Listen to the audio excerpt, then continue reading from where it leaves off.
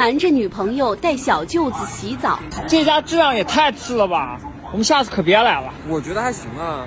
你瞧瞧你那没见过世面的样子！你这样，姐夫下次带你去一个更哇塞的地方，让你体验一下什么叫做人间仙境。够意思啊！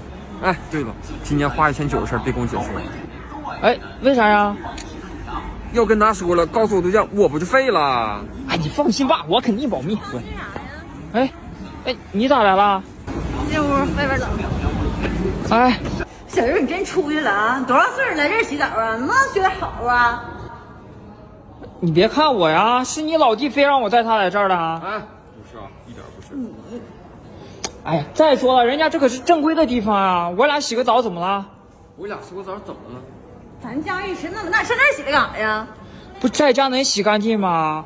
再说了，人家这可是平价浴池啊！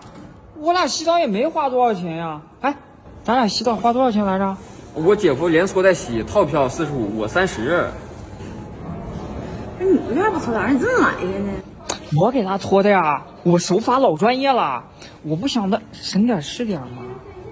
省点是点。哎哎，拿来，快点。嗯。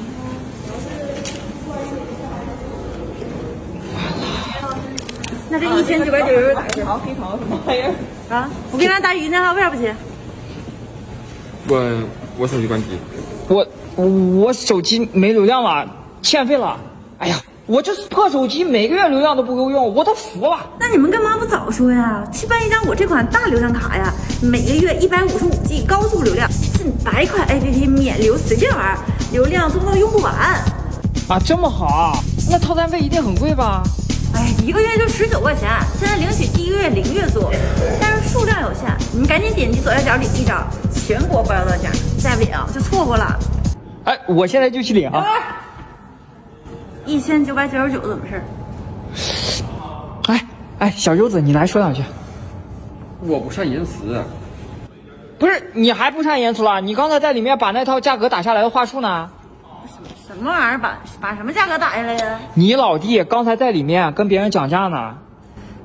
不是你小军，你还舔脸跟人讲价呢？不是，他那价格本来就定的不合理啊。不是马天尼，你是不是为人不尊呢你呀？不是你想什么呢？你以为我俩干那种事儿呢？这么的，我俩给你情景再现一下子啊！来，你转过去。我当时在澡堂给你老弟搓澡，我一搓吧，他就质疑我。你没吃饭，使劲。然后我就一使劲儿，他这个小体格子就被我撞飞出去了。然后，嗯，鱼缸就撞飞了，一千九就没了。啊，嗯，没事吧？上哪儿了？没事，姐。